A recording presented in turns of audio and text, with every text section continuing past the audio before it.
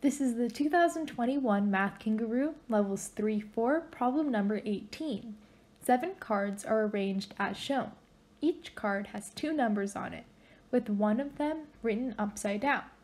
A teacher wants to rearrange the cards so that the sum of the numbers in the top row is the same as the sum of the numbers in the bottom row. She can do this by turning one of the cards upside down. Which card must she turn? A, C, D, F, or G.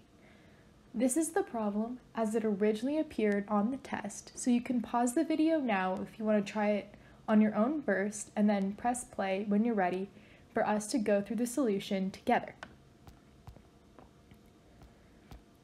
So I started by finding the sum of the numbers in this top row.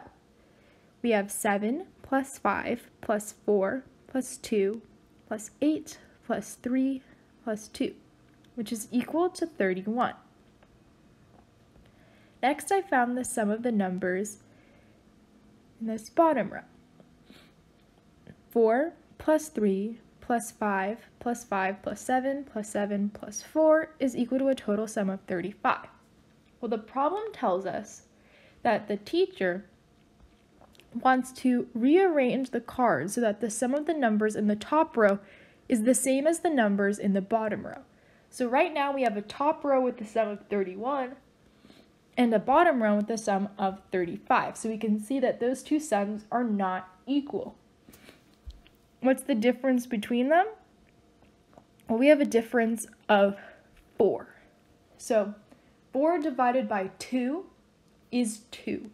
So we want to increase the top row sum by 2 and decrease the bottom row's sum by 2 in order to have the same sum on top and bottom.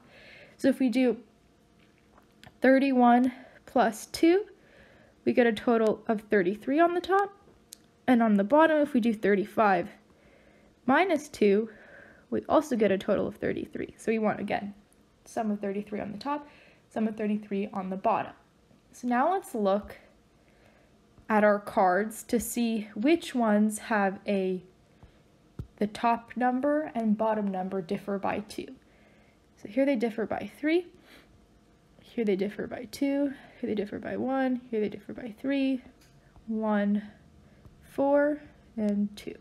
So we have B and G are two cards where the two numbers written on them have a difference of 2. However, we want to increase the top row's sum.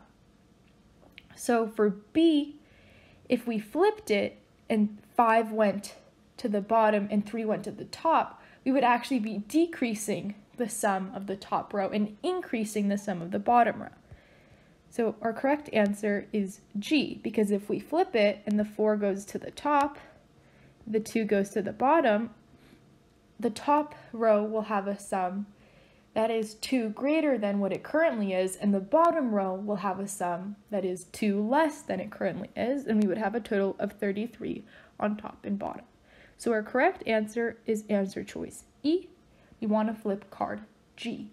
Thank you so much for watching, and please subscribe if you would like to see more videos.